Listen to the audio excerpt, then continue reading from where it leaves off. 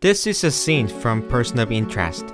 It portrays a person who is captured in security cam, and the person's ID number, who they are calling, and the likelihood of the person to commit a crime displays on the screen. You may think this is only a scientific fiction, but it is becoming our reality. And Palantir, a startup based in the United States, is working on making it a reality. Palantir develops data analytics software, and the value of the company amount beyond $20 billion. Yet, not many people even know that such a company exists. Why?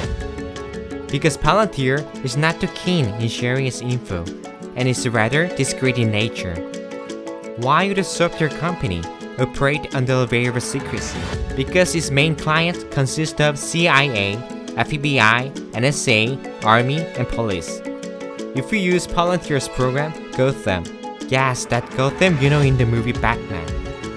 It will analyze who's interacting with who, who's going where, and will start patterning data on your behavior. When such data are analyzed by network analysis, it will start drawing up its picture on your networks. Just with the last two digits of your car plate number, it would analyze the data pulled from security cams and figure out where you're heading to. Can you believe it? According to an interview with LAPD, it is uh, apparently very effective. But it's a bit scary, right?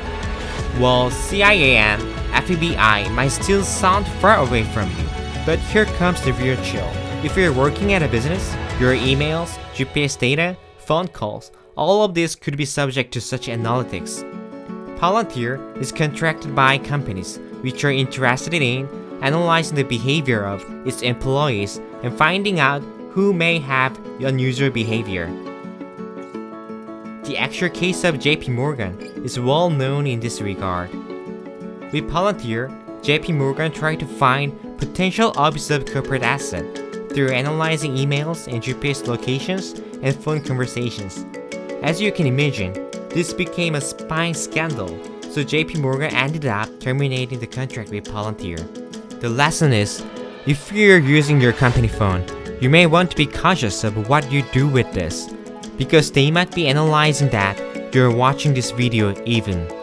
But do you think it is legal to investigate your private data like this? Isn't there some kind of privacy or human rights issues? Palantir have been sued several times, and also there are a lot of people protesting against them.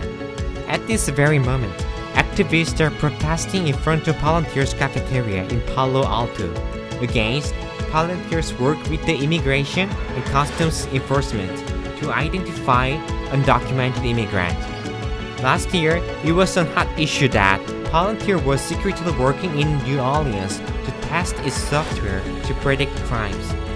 They traced people's time to gang members, analyzed social media, and predicted the likelihood that individuals would commit violence. Palantir is like a double-edged sword. On the one hand, Palantir helps catching criminals or find explosions, or help people suffering from tornado. But on the other hand, it may infringe on privacy and human rights. Well, Palantir is still developing its technologies in this moment, so its analytics will likely become more and more powerful. If a minority report comes out after 10 years, it may well be Palantir.